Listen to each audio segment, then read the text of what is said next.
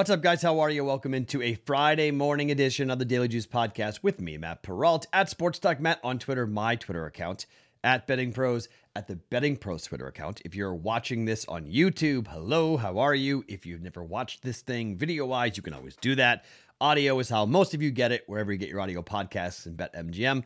Always the sponsor of this podcast. $10 bet to win $150. Promo code Juice150 when you sign up for a new account at BetMGM. Okay, so our first losing night day in a while. Man, I thought we had overtime coming in Illinois and Ohio State, and I thought maybe we might sneak one out, but we really snuck one out with Florida.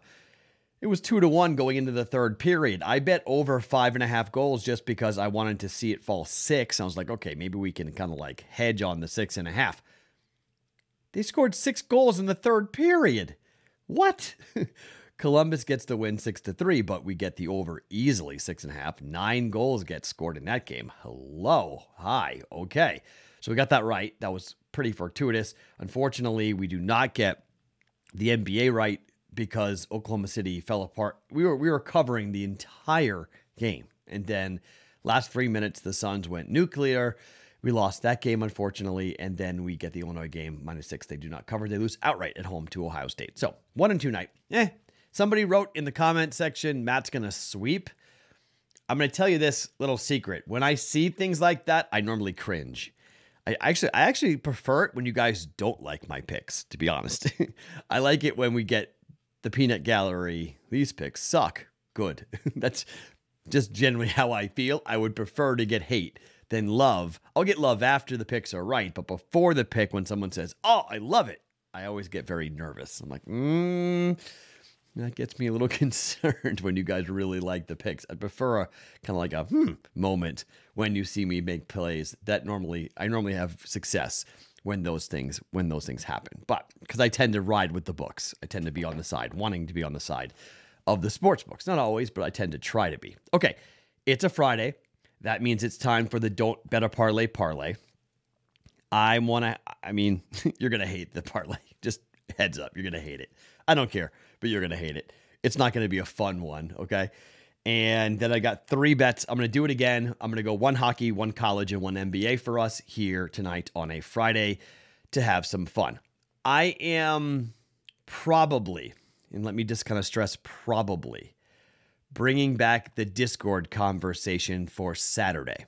Now, if you are new to the Daily Juice, we talk and i'm probably going to push this maybe a little bit later maybe 8.30 11.30 in the morning to give me a little more time.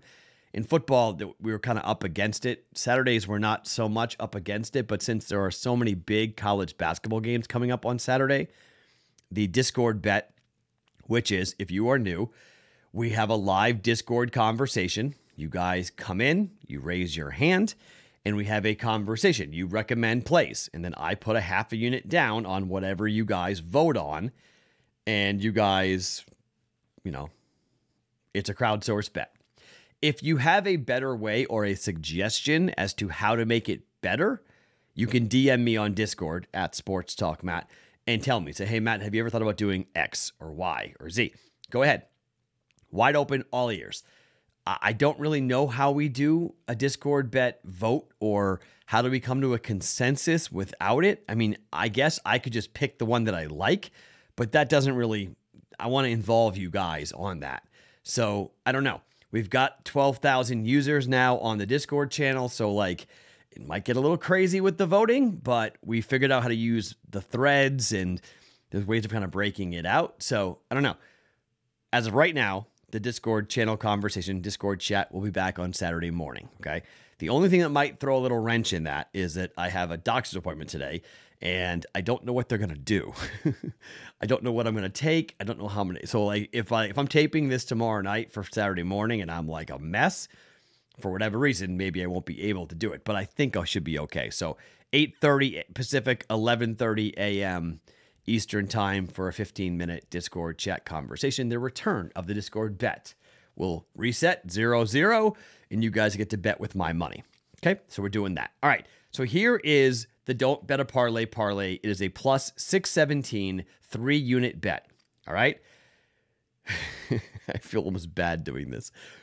So We're playing three hockey totals. Okay. We're playing the Winnipeg Jets taking on the Colorado Avalanche. Okay. Jets, Avalanche, the total is six and a half. We're playing under. Avalanche, yes, have been a pretty good team to the over this year, but they've been playing a little bit slower than normal. And the Jets are not really a team that is playing a ton to the over. 3 2, 3 1, 2, uh, 4 2, their last three games. Two of those three on the road. For the Avalanche, 5 2 against a bad Detroit team. They won. They lost 5 1. 5 3 win, 2 0 win, but this is the first game back after a four game East Coast road trip for Colorado. So we might have some tired legs there and they may play a little bit slower. First matchup was 7 1, okay? So I'm hoping that the Jets don't score a lot and maybe the Avs are a little tired. They're 23, 21 3 and 2 at home, okay? They are dynamic at home. I most likely will have a personal play on the Avalanche puck line in this game, but for the don't bet a parlay parlay, we're going to jump in here with under six and a half goals. Let's get a 4 1 win for Colorado. Okay, let's get that. Under six and a half. Second leg, the Vegas Golden Knights are on the road at the Col- uh, sorry at the Arizona Coyotes. The first game between these two played in Phoenix, 7 1, the win for the Vegas Golden Knights. However, Vegas has been playing a little bit slower than normal. 6 nothing, 2 nothing, 4 3, 4 1 over the last oh, sorry, 4 nothing, 6 nothing, 2 nothing, 4 3, 4 1 over your last 5 games. Only one of those games going over 6 goals. The total is 6 and it's juiced to the over. You get a little plus money on the under, which helps the plus 617 wager, but I actually think Vegas is going to hold the Coyotes down. And offensively, Vegas hasn't been great. Okay, they've been okay. They scored four goals in their last game against San Jose. But I think Vegas is starting to play much better defensively and getting Jack Eichel back on the ice and getting a big win with him on the ice against San Jose was huge. I do expect them to play pretty well tonight. I think they handled the Coyotes pretty easily. Vegas is 15 7 and 1 straight up on the road. Arizona is 6 19 and 1 on the road. But I think it's a 3 1 4 1 win here for the Vegas Golden Knights under six for the second leg. And the third leg, I mean, you, you have to be a dummy to bet an under for the for the Columbus Blue Jackets. Columbus, the total is six and a half. They're playing on the road at the Carolina Hurricanes. They just had six goals tonight. They've won four games in a row. They're actually pretty hot. They've won four games in a row. They scored four goals in the third period against Florida. And the Hurricanes are a pretty good team as well when it comes to scoring. In fact, in the first matchup between these two teams, uh, we have, or hold on, let me pull that up um, for the Hurricanes. And uh, the first match, it's been 5 1, 7 4, 6 nothing. Okay. Over six and a half. You just have to. You just have to. I mean, we have to. So it could be, we just need one extra goal there. 11, 6, 11, 6, the totals. But you look at the Blue Jackets 7, 10, 11, 8, last four games. For the Hurricanes, 7, 7, 8. Their last three games, 5 and 5, the two games before that. We're going over. Under Jets, Colorado. Under Vegas, Arizona. Over Columbus, Carolina for a plus 617. Don't bet a parlay, parlay three legs for us here tonight. Let's stay with the Vegas Golden Knights, okay? Vegas, I like Jack Eichel a lot on this team. I like Vegas on the road a lot. I don't like Arizona at home at all. Really bad record. Coyotes are 9 18 and 2 against the Western Conference. They are last in 3.9 assists per game. Golden Knights come in here averaging 3.2 goals per game, but that's just going to increase because of what they're going to have with Jack Eichel on the ice. I think this is going to be 4 1, 3 0, somewhere in that range here. Puck line is even money. I'm going to lay the puck line with the Vegas Golden Knights on the road at Arizona. Vegas puck line minus one and a half, even money against the Arizona Coyotes. As I said, the first meet- meeting was seven to one. Max Pacioretty had two goals in that game. We're going under sorry, puck line, even money. Vegas against the Arizona Coyotes for a half a unit. For college basketball, Northwestern is at Penn State. Penn State, according to KenPom, three point winners, 65 62. This total is stupid low, 128 and a half. Thought about betting the under in this game. Could, maybe, but I think it's like right there. I mean, I think the number will be really, really tight. But Penn State's only one and a half point favorites in this game. KenPom has it a three point win over Northwestern here. I like that a lot. I like Penn State at home a lot here in this game. I think Penn State in a slow down grinder of a basketball game. They've already beaten Northwestern once this season. I think they beat them again coming up here at home. They're a tough team to play at home. They're not great on the road, but Penn State, one of the best teams in the Big Ten defensively, tough to score on, tough to get offensive rebounds against these guys. Three point range might be a little bit difficult because they do give up threes at times, but it's senior night for Penn State. Okay. It's Friday night. It's senior night.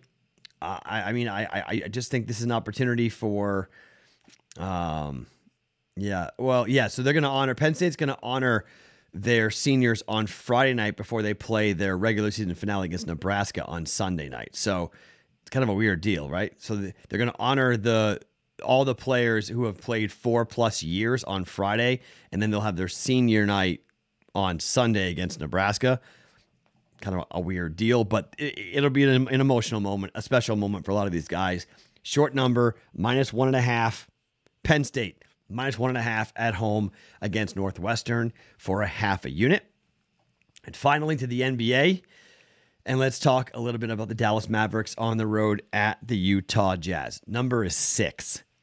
Dallas this year, 32 26 and 1 against the spread on the road, 16 and 12. Against the Western Conference, Dallas is 23 and 15. They've covered the last two games, 4 and 1 over the last 5, 7 and 3 over the last 10. Utah 26 31 and 1 against the spread, 16 17 and 1, mind you, with injuries for a lot of these not having their full complement of players, obviously Mitchell and company being hurt, Gobert too.